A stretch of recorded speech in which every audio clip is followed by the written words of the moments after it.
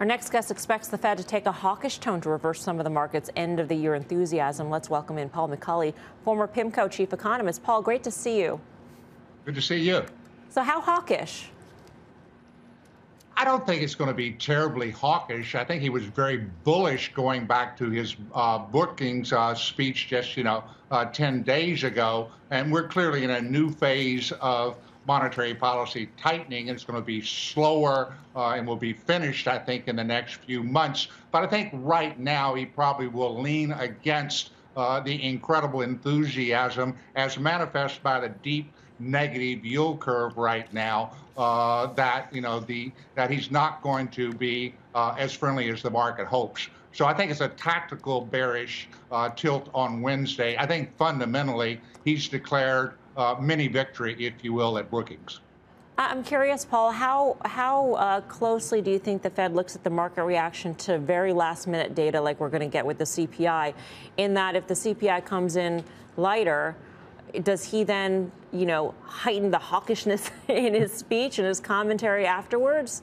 Is it that responsive?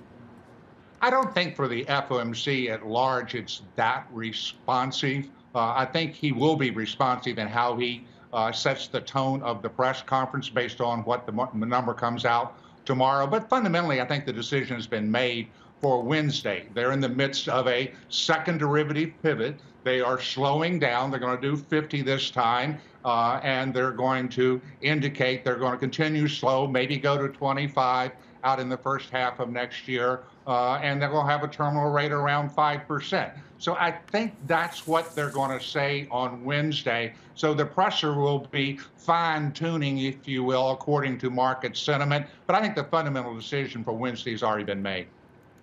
Paul, it's Karen. Thanks for being on. Let me ask you you said what you think they will do. What do you think they should do? uh, I think the Fed has done a potload of tightening this year. Uh, I think the yield curve is telling us that. Uh, we're seeing the uh, uh, the goods sector, the commodity sector, manifestly roll over. Uh, the housing bubble, and Jay actually called it a housing bubble at Brookings, has popped. Uh, and I think we have in train uh, slower housing inflation. Uh, so if it was up to me, strictly up to me, I would say let's you know uh, declare a pause after this one uh, and see what's going to happen going forward. I'm not forecasting that, but from a normative perspective, I think they've done enough now. Paul, I see in the notes that you think that the Fed will actually pivot. In other words, actually reverse some of this hiking late next year. And I'm wondering what the, the context of, of taking some of this back will be. Is it that we are in a deep recession? I mean, what will cause the Fed to actually complete, com, to reverse, to start reversing course?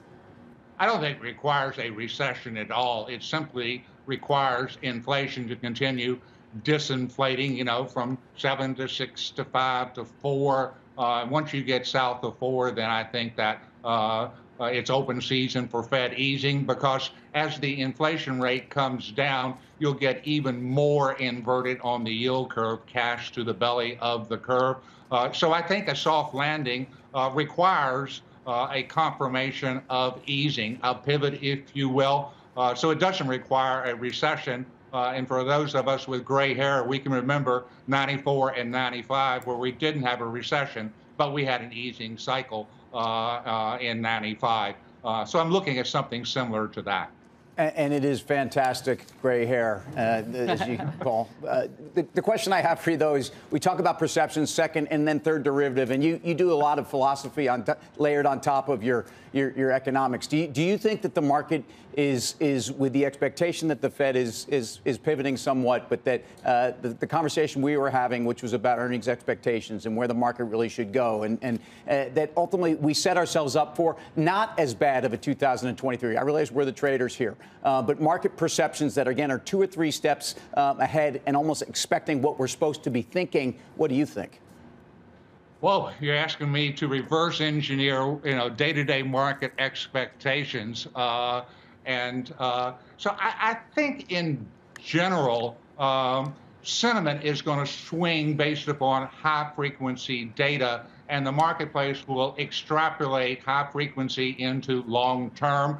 And hopefully the Fed doesn't do that. Uh, and as we look out uh, to 23, there are a lot of reasons to be optimistic relative to the prevailing pessimism that we're seeing from the economics community, notably on the real economy. I'm stunned that we have up over 60% now uh, of my old profession uh, forecasting uh, a recession.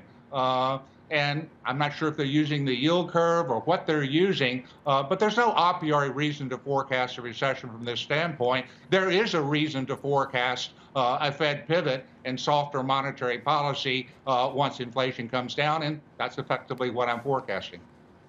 Paul, great to see you. Thanks as always. Thank you. Paul McCulley. Uh, Courtney, what do you think? If, if Paul's scenario is true and we reach the rate, we pause for now, we reach the rate, and we actually reverse some at the end of next year, what kind of framework does that provide for equities? I mean, equities have really been honing on what's happening with inflation and interest rates. So if they're mm-hmm. coming down, that's ultimately going to be a good thing. I do think it's an interesting point he brings up that we don't have to have a recession for rates to come down. So I think that's what most people are expecting. That if they're pivoting, it's because we're forced into a recession. Right. So again, I think I'm kind of hearing more of this. There is more and more of a possibility of that soft landing, which I do think is a good sign. But we have to eventually see it, rates come down to a certain point. I mean, were they to pivot that quickly, I think your answer is gold. You want to What? have gold. Gold. Hmm. Gold. Hmm. Hmm. When do you start? how- when do you, I- when do you no, start that I- trade? I mean, Well, I, you, a I'm year in shouting now, advance. but what is the rate at which the last? Uh, do you guys? You must know right, when they stop raising and when they start reversing. What's the time frame on average? Well, Well it- into next year. Yeah, I was going to say, I, mean, I, I, look at the Fed futures curve, and it tells you from May of 23 to May of 24, Right. the Fed's going to is going to ease 100 basis points, which you should be buying well ahead of that. But back to gold, I look.